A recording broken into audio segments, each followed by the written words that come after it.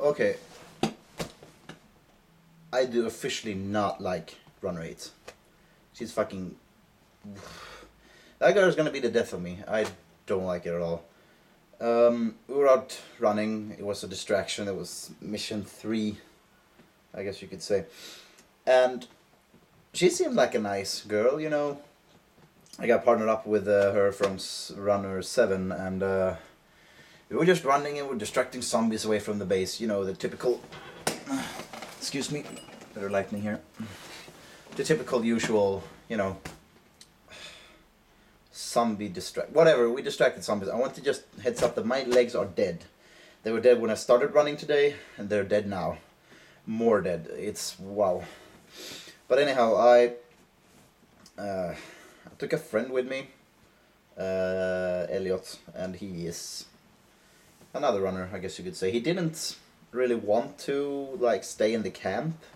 I'm not sure why, but he wanted to come with me, and you know, kind of bonded with the guy. I guess I don't know. His name is Elliot, and he's running. He helped me, he pepped me, you know, when I when it was getting rough. So, but anyhow, we're running, and to begin with, I think that she will turn a zombie on me, and that's the first reason why I do not want to run with her is she's gonna fucking bite my ass off when she turns, and she will turn, because she's coughing like hell, and even the my radio friend said that, uh, you know, starts with a cough, blah blah blah. He did some ramble there, um, but you know, fine. I was like, whatever, you know, it, it might just be a cold, but I'm, I'm on my toes around her and I mean more on my toes because she's fucking threatening to kill me, basically.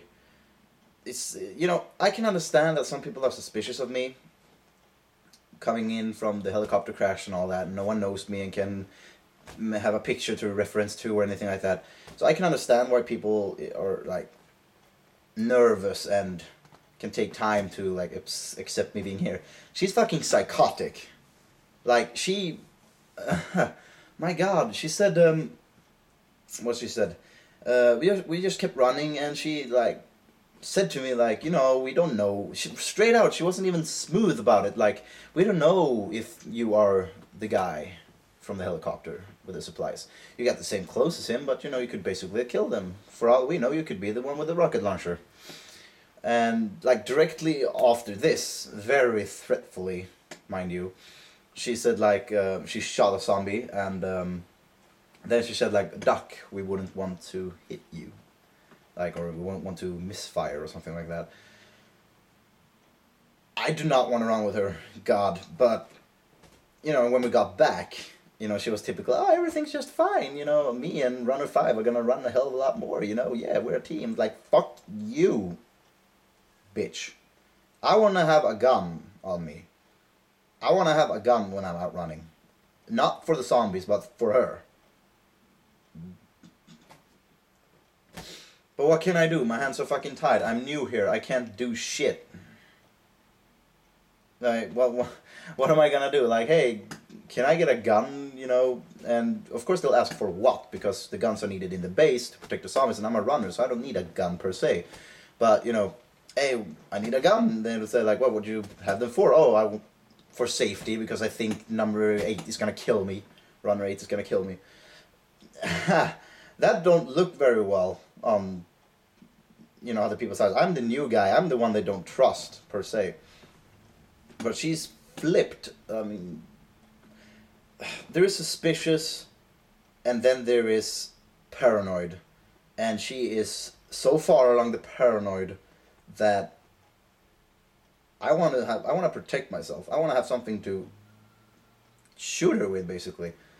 Um, and I don't say that lightly. I mean taking another man man's life, woman, whatever is is not fun.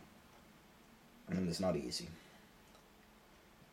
But, you know, this is about survival and this is really about what the zombie apocalypse is about. The zombies aren't the real threat, it's the people but my hands are tied. I can't do anything. Stop her.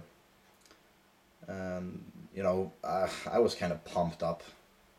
You know, from adrenaline from basically being prepared to get a shot in the back, and I didn't want to spend any time with this woman whatsoever. So I told them that you know, hey guys, I'm I'll run on a supply run for you. You know, pretty much half an hour after I got back, and you know when you do runs and supply runs specifically, they don't ask. You know, they just oh good we need more stuff whatever it is.